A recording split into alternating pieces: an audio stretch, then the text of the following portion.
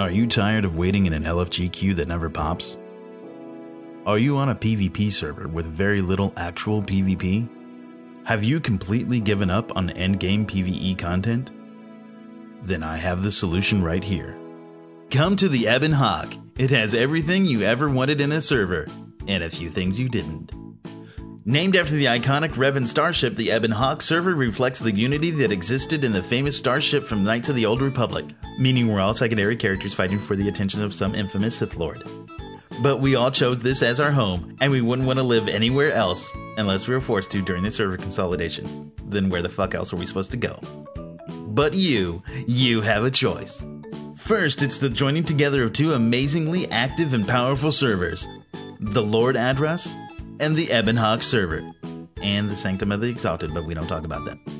At the time, each of these servers were similarly high in population, with two amazingly different communities, which meant every aspect of the game thrived and still thrives today.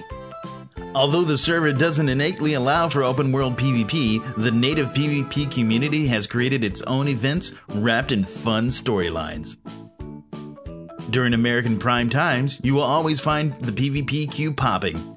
Many PvPers on other servers have jumped over to the Ebon Hawk as a unit. Now, both regular and ranked PvP queues have people willing to jump in at any time. Flashpoint queues constantly have people ready to go, but the biggest boon is operations. Forget about queuing in LFG, join the Allies channel. Hundreds of players occupy this channel regularly and have made themselves ready for any raid you'd like to run. Lastly, role players have a home on the Ebon Hawk too. For the role player, that means they are never without anything to do.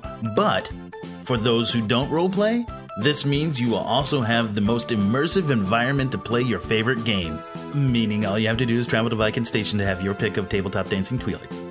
As I said, the Ebon Hawk is whatever you'd like. PvP, regs, ranked, open world, PvE, flashpoints, operations, social groups, RP, Cantina RP, scripted RP, ERP, whatever fancies you, the Ebon Hawk has it all. This ad was paid for by the people who love the Ebon Hawk and those who are forced here from Lord Adraas. Any connection to any other group, living or dead, is purely coincidental and should be taken as such.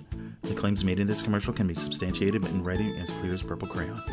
The Ebon Hawk has been shown to result in fanboyism, obsession with Star Wars, and fulfillment of childhood dreams. The Ebon Hawk is not to be consumed by those who are depressed, lonely, or stupid. If you find yourself in any of these conditions after consuming the Ebon Hawk, consult a doctor immediately before continuing use.